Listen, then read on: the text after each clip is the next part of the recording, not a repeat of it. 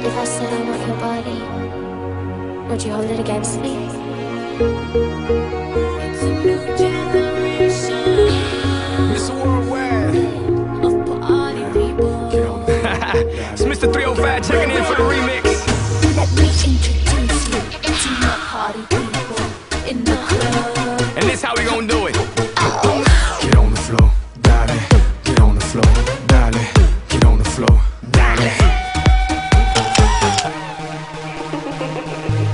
this part.